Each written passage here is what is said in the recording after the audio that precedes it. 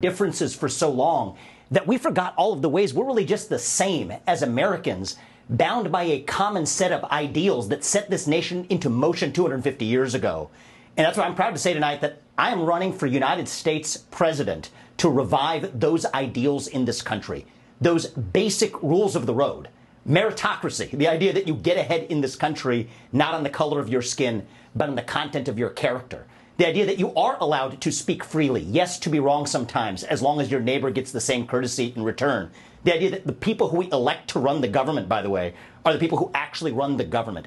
Basic rules of the road. These are the things that bind us together. You and I have different shades of melanin. And you know what I say? So what? That's not beautiful. That is not our strength. Our diversity is meaningless if there's nothing greater that binds us together across that diversity. And the reason that I'm running for president is to revive those ideals. And I believe deep in my bones they still exist, that most Americans still believe in them, but we need to rediscover that. And the only